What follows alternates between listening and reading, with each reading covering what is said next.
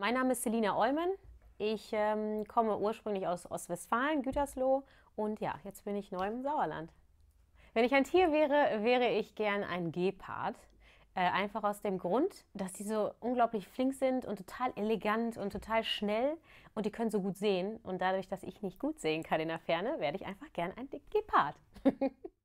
ich stehe total auf äh, Essen. Ich äh, mag es einfach, ähm, ja, Essen zu genießen und zu kochen und deswegen, da stehe ich total drauf. Was ich gar nicht mag, ähm, ja, sind negative Menschen.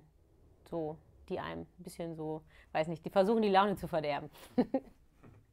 Dadurch, dass ich aus Ostwestfalen komme, äh, ursprünglich, äh, fahre ich gerne zu meiner Familie und äh, ja, besuche die und äh, verbringe halt Zeit mit denen gerne. Ja, da fahre ich gerne hin und da bin ich auch sehr gerne.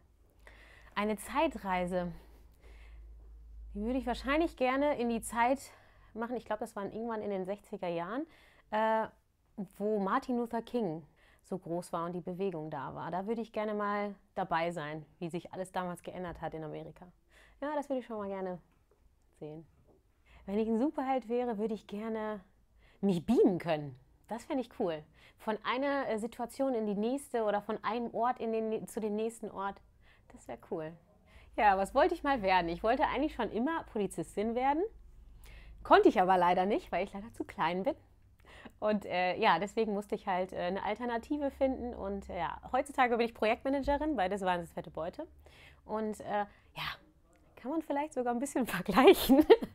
man muss halt irgendwie für Recht und Ordnung sorgen und ähm, ja, schauen, dass die ähm, ja, Projekte so laufen, wie sie eigentlich laufen sollen, so wie Gesetze. Ja, blöde, blöder Vergleich, aber ja.